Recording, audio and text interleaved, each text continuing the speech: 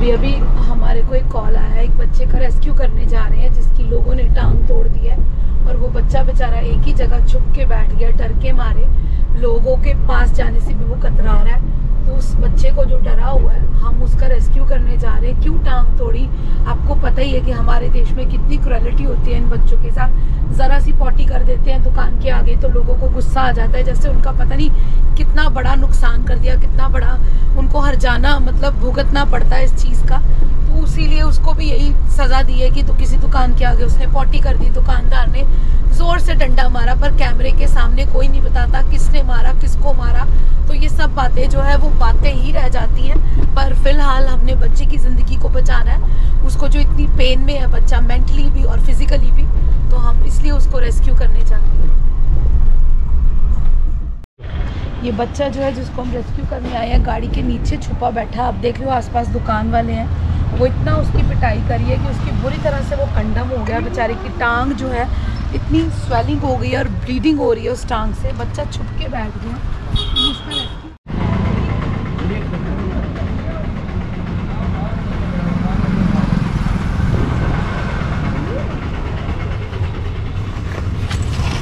निकला है?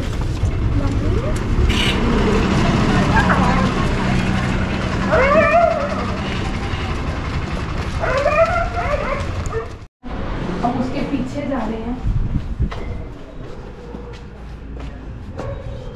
क्योंकि वो बहुत डर गया है। बाथरूम निकल गया उसका।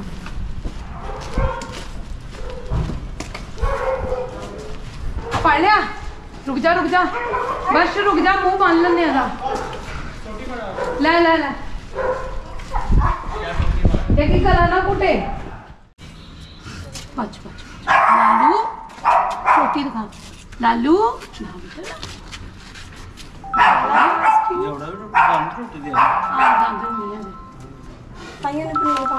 लालू. बाथरूम भी कितना सुस्त पीला तो आप देखो कि कितनी बुरी तरीके से इसको मारा गया है, पीटा गया है और नुकीली चीज़ से मारा गया है, जिससे जो है उसकी पूरी ब्लीडिंग हो रही है टांग में से। ये कुछ चीज़ चुभी भी हुई है, आप देखो। तो इन बच्चों का रेस्क्यू करना जो सड़क पे रहते हैं, बहुत मुश्किल होता है, क्योंकि ये अपने पास आने नहीं देते और जब इनके साथ ऐसा इंसिडेंट हो जाता है तो ये और अग्रेसिव हो जाते हैं हमको काटने की नीयत से नहीं डर के मारे अग्रेशन जो है ये दिखाते हैं ये हमारा समझना गलत होता है क्योंकि इनको टॉर्चर किया जाता है इसीलिए अग्रेशन जो है ये अपनी दिखाते हैं चलो चुको सनी वर्ष मेरी है फड़ अच्छा ना फड़ वर्ष ਨਹੀਂ ਨਹੀਂ ਇਹ ਉਹ ਵੀ ਲੱਭ ਲਿਆ ਉਹਨਾਂ ਨੇ ਕੁੱਤਾ ਕਿਹੜਾ ਉਹ ਵੀ ਗਿਆ ਸੀ देखो कॉल आ गया उससे ही आया था।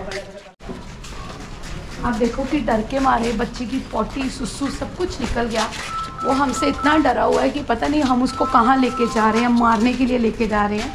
पर हम इनको कैसे बताएँ कि हम इनका साथ देने वाले हैं, इसको ठीक करने वाले हैं।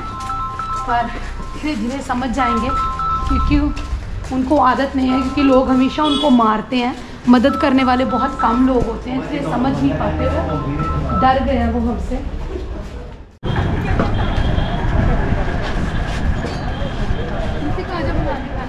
इंस्टाग्राम तो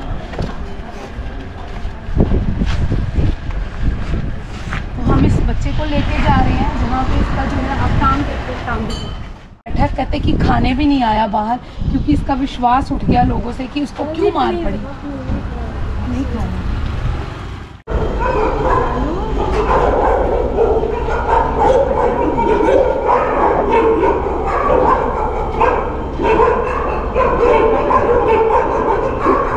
तो आप देखो बच्चे की बच्चा कितना डरा हुआ है। आँखों में कितना डर है इसके, कि इसको नुकसान पहुँचाने के लिए इसको लेके आए है, जबकि हम इसकी बेहतरी चाहते हैं।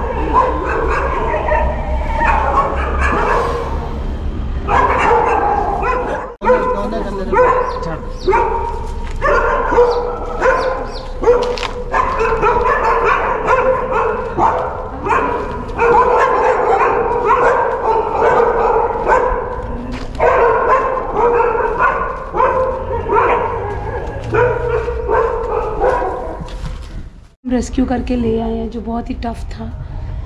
अब बच्चे का जो है, वो ट्रीटमेंट स्टार्ट किया जाएगा और इसको मेंटली भी हील किया जाएगा कि ताकि इसको फिर से एक विश्वास पैदा हो इंसानों के प्रति।